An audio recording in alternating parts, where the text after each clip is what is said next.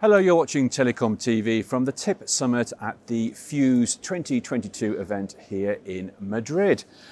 And I am talking today with Alla Goldner, who is Director of 5G Open Standards Strategy with NEC, and Vinesh Nal, Head of Pre-Sales Global Open RAN Centre of Excellence at NEC.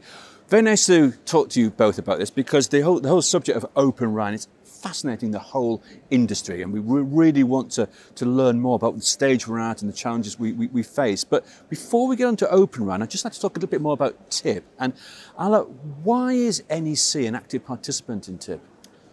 Know, there are uh, many industry standardization organizations actually contributing to ORAN requirements. ORAN Alliance and 3GPP clearly the major ones, but there are also ETSI ZSM, there is ETSI NFV, there are other organizations also uh, developing a different sets of requirements applying to a different parts of ORAN solution.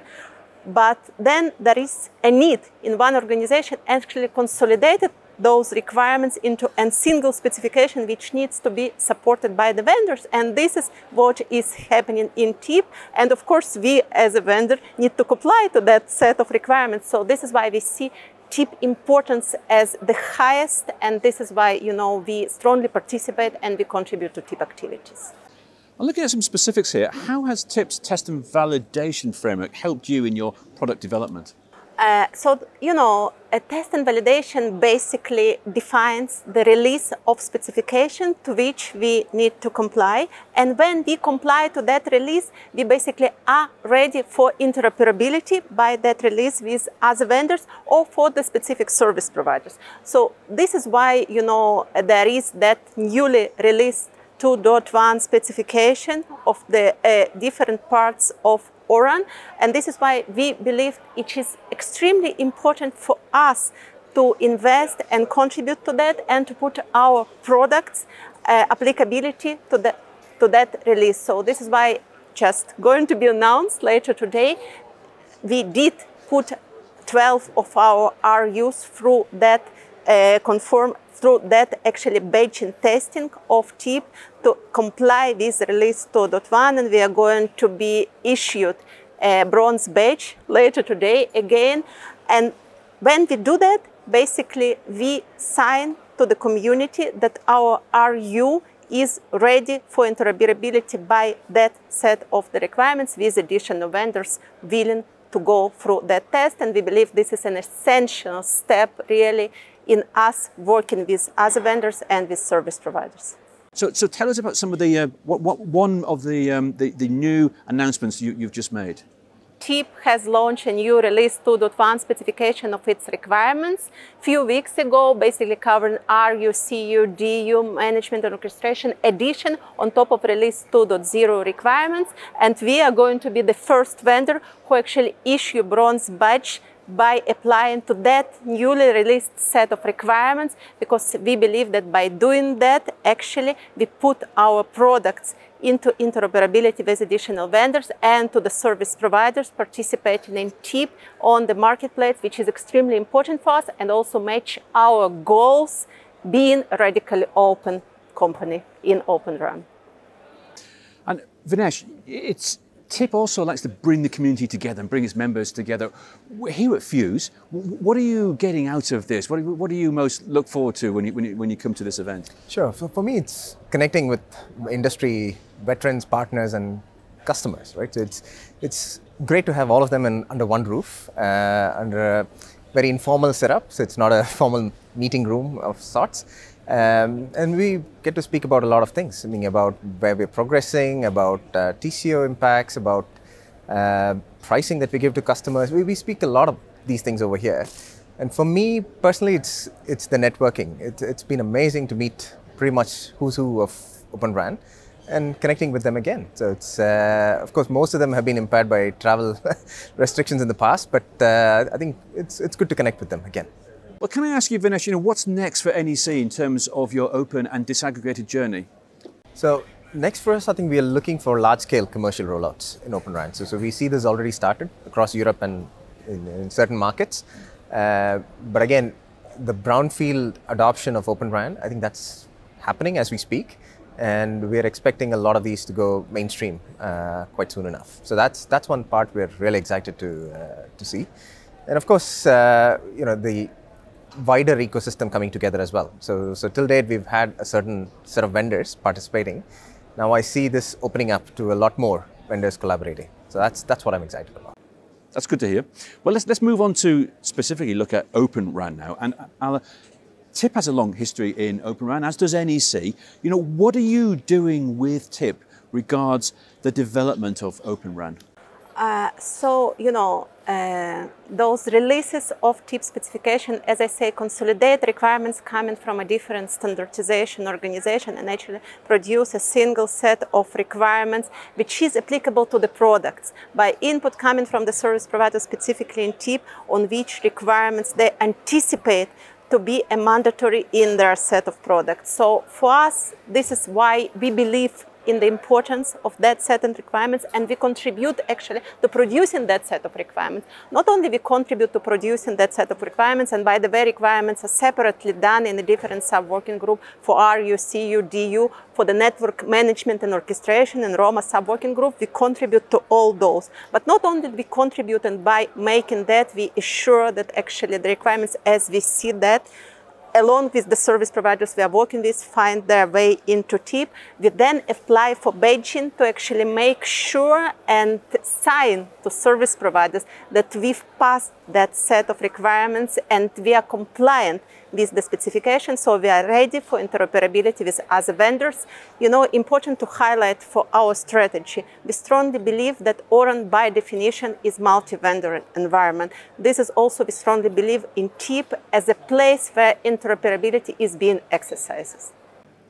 And Vinesh, what is NEC's view of Open RAN and, and how does it fit with your telco strategy? So NEC has been a very strong proponent of Open RAN, uh, again starting with the Japanese market. So, so I think that that's been our first market with Open RAN, where we've gone commercial and mainstream. So uh, we saw the success of that. We saw the viability of Open RAN for uh, for mass market rollout, and so we brought Open RAN into the global world from our from our offering point of view. Uh, so Open RAN is evident in all our products that we bring to the global market. So in, in the RAN space. So starting all the way from radios, going all, all the way to SMO uh, and so on, right? So, uh, so which is why we branded ourselves as Open Networks, and uh, we will continue promoting and investing in Open RAN. Uh, you know, Alla, it's, it's, very obvious that NEC really supports Open RAN. Tell, tell us a bit more about how it fits in with your overall strategy? Yes, of course. So, you know, we have all parts of ORAN system. We have RU, we have recently launched CU-DU for international market. We have, of course, a SMO non-real-time RIC as a part of management and orchestration system. We also recently acquired Aspire company, which is leading uh, provider of system integration and solutions in ORAN. Along with that, it is very important to highlight that we while doing that and while having all the pieces of ORAN solution, it is not our objective to bring that as a whole one. It is rather our objective to bring, you know, an extended system to actually to have an ecosystem with all parts, but then integrate with additional vendors on each part of the system. This is why, you know, our strategy in ORAN especially is strongly aligned with the strategy of TIP of interoperability. And this is why, by the way, we recently applied to that bronze badging of TIP for our 12 RUs, which were launched earlier this year, as it is very important for us to put that on the marketplace on TIP and to be to, to, to, to have them ready for interoperability, interoperability with additional vendors of TIP who wants to participate in TIP and who wants to show to sign to the service providers believing in TIP that we are ready with our interoperable solutions. Thanks, Alla. Good to, good to hear that. Um, and Vinesh, what are the challenges that still need to be overcome if Open RAN is to really achieve its full potential? I think there are some challenges which we see, uh, but, but NEC as a system integrator, we're tackling them head on, uh, and then we're getting a lot of support from the ecosystem partners. Uh, this there's of, of, course a comparison against feature parity, uh, and of course the TCO benefits that incumbents offer. So what we are working as an industry uh, with the ecosystem partners is to narrow down that gap. So, so we already see tremendous investment and positive movements, both in the feature parity and the TCO optimization. Uh, this comes with volume, of course, as well, and uh, we see you know, more adoption from customers helping us in terms of getting the economies of scale as well. So uh, we're progressing on that. That's that's good. And Alla, final question for you. You know, how can TIP help help you and the industry overcome some of these challenges? Uh, so we see TIP again as the place where vendors collaborate, right? Because you know standard organizations are fine, but eventually someone has to take those standards and bring that subset of requirements which is important for a specific service provider. Not only that, but the recent trend in standards for the last few years is actually instead of working hard and reach consensus on one single solution, go for multiple solutions and multiple configuration, which is better better than nothing. Let me put it very straight. It is better than wait for years until specification is done. But then we as a vendor, in order to be cost effective, really need service provider to consolidate their requirements and bring up only a few configurations which they request us as a vendors to support. And that was widely covered also yesterday during the discussions. And this is why, you know, we strongly believe that TIP can be such a place of actually consolidated that requirements and you know, by service providers actually discussing those. Uh, yesterday, there was also an announcement of Vodafone and NTT Docomo actually on their memorandum of understanding of bringing joint testing and validation framework. We strongly believe in such an activities that by doing that activity, actually service provider would bring to us as a vendors a consolidated requirements for single configuration, two configurations perhaps, you know, massive MIMO, C-band, 32G, 32R, whatever, right? But for us, as Vinesh has mentioned, we need to be cost effective. And TIP can be a perfect place for that. Great, it's good to hear. Alla and Vinesh, thank you both very much indeed for joining us today. Thanks thank for you. having us. Thank you.